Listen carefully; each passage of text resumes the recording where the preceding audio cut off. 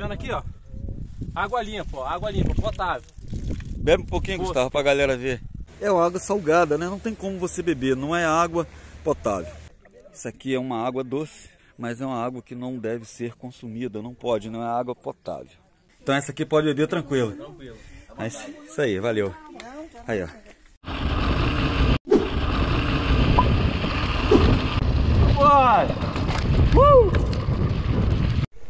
Galera, fazendo esse registro aqui para vocês de uma fonte inesgotável, uma fonte infinita de água, né? Isso aqui é o mar é, de Itaúna, é uma água salgada, né? Não tem como você beber, não é água potável.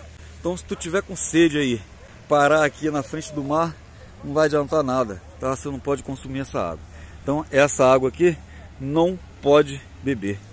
Você está fazendo um pedal longo, acabou a água da garrafinha, com a sede danada, para aqui, ó, de frente para esse marzão aí, e aí, não pode beber.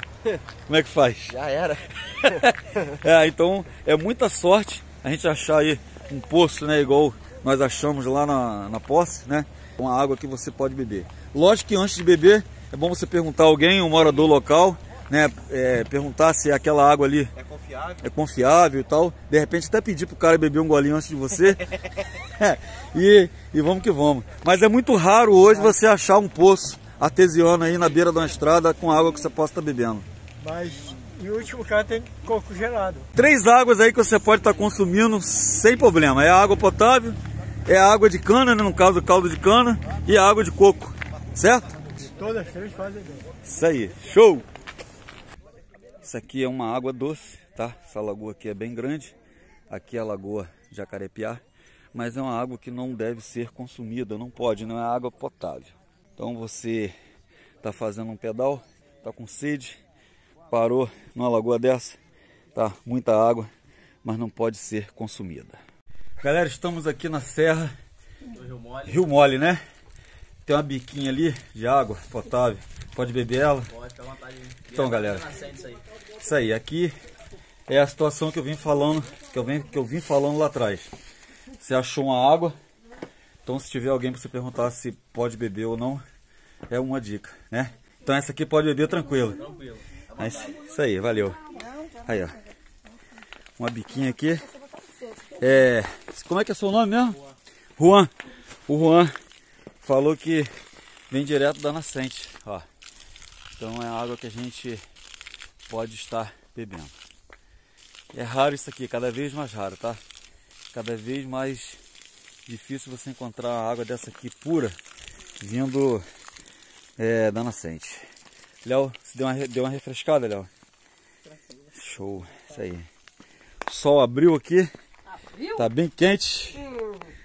Ah, Tá tá brabo, tá brabo. tá de brincadeira, né, Só uma água dessa para abençoar nós.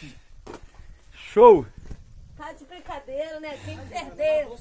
Fizemos um pedal para Posse. Posse aqui na região dos lagos, é Rua do Fogo, é, seguindo em direção a Sapiatiba, é, é, São Pedro Aldeia. Encontramos aí um poço, um poço artesiano com água potável, tá? Própria para beber. A água deliciosa, super limpa. Esses poços aí na beira das estradas, né? Não existe mais. A gente quase não vê contaminação de solo e tal, essa coisa toda. Então vou estar mostrando para vocês aí um poço bem bacana para o viajante, né? Matar sua sede e foi bem legal, tá? Registrei esse vídeo já tem um, já tem um tempinho e vou estar mostrando para vocês hoje. Acompanha aí. Falar de uma coisa muito importante para a vida, não só nossa, como dos animais, das plantas, certo? Que é a água. Então, nós ciclistas fazemos aí longas distâncias, pedais curtos e a gente sempre tem aí a nossa água na garrafinha. Você às vezes está no local, não tem nenhum bar, não tem nenhum mercado, uma padaria, não tem casa de vizinho, não tem nada. Sua água acaba, você está com sede. Achar uma relíquia, como a gente achou na beira da estrada, a água totalmente limpa, é muito bacana. E interessante a preservação né, também desse local aí para manter né, sempre essa água limpa para nós ciclistas, viajantes, pessoal de cavalo, né, como o Gustavo falou, muitas pessoas pegam água nesse poço que a gente achou. E para quem não conhece, meu nome é Gilberto Ferreira, seja muito bem-vindo aqui no canal Pedal das Nove. Galera, a gente está aqui entre São Pedro Aldeia e Posse, né? É, a gente parou no caminho aqui, o amigo, como é que é o nome do senhor mesmo? Gelson, nosso amigo Gelson aqui, mostrou pra gente aqui uma coisa interessante, a gente vai conferir um poço ali, caso vocês estiverem passando por aqui de bike ou a pé, né, um viajante, pode parar aqui tomar um pouco d'água. Falou que Tem como a garrafa lá? água potável. É. Vamos entrar aqui pra dar uma olhada. Que eu vou tirar a mochila aqui que não vai dar pra eu passar não. Tirar a mochila rapidinho aqui. Não tem casa aqui, não tem nada nesse pedaço. Então, você parar pra pedir uma água na casa de alguém vai ser difícil. Quase que não passei, seu Paulo, mas deu pra passar. Então, poço é ali, ó. Gustavo tá ali. O João.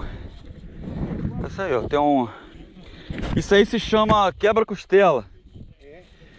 Passamos no quebra-costela. Vamos descer aqui, mais ou menos 20 metros da estrada. Tem água mesmo? Tem, tem. A galera que tá entre Posse e, e São Pedro da Aldeia, tá vendo aqui? Esse pocinho é na beira da rua. Se passar despercebido, passa direto nem vê. Esse poço deve ter 80 centímetros de fundura, brota água há mais de, de, de 200 anos, brota água pra cima a vida toda. Água potável, potável, potável. Limpa, limpa, limpa, limpa. Ai, que maravilha, cara. Cristalina. Tem até que dar uma limpeza aqui em volta, aqui, ó. Só, É. galera, tá vendo aqui? Tem umas garrafinhas aqui. Não deixa lixo, não deixa nada aqui não pra gente preservar isso daqui. Isso daqui tem a vida toda. É uma nascente já de muito tempo, né? Nascente da vida toda. Que interessante. É água, água potável, campanha. É petróleo, pra gente agora é petróleo. Olha aqui, olha aqui, o pessoal de bike. Olha a água, olha Deixa eu dar uma olhada aqui, Ó, de perto aqui. ó. Aí, galera, ó. Entre Posse e São Pedro da Aldeia. Posse fica pra lá, São Pedro da Aldeia pra cá. São Pedro da Aldeia ali. As, bike aqui, quiser água potável aqui, ó, ó, ó, as torres de Sepiatiba ficam atrás desse morro aqui. Ó, tá vendo? Tá vendo aqui, ó? Água limpa, ó. Água limpa, potável. Bebe um pouquinho, Poço. Gustavo, pra galera ver. Ai, que maravilha, gente. Tá vendo aqui, ó? Não é Eu- água saloba, não. E aqui o interessante da, da galera de repente descobrir isso aqui é porque não tem casa por perto, não tem nada, né? Vai pedir água como por aí? É isso aí. Fecha Ó, direitinho aqui, não deixa lixo aqui não, tá tampou vendo? direitinho. Galera de bike aí, ó. Só passar aqui. Até uma garrafa aqui, eu vou levar essa garrafa lá pra fora. Isso aqui alguém deixou aqui. Ali tava cercadinho direitinho, mas a galera... É, cara, um mas pouco tem ali. que preservar aí uma, uma relíquia dessa aí. Hoje você não vê mais poço, nada. É Não, difícil. não. É Tem difícil. que preservar mesmo. Um calor desse aí, ó. Muito legal, cara. Muito bacana. Show de bola. Mais uma descoberta aí, ó.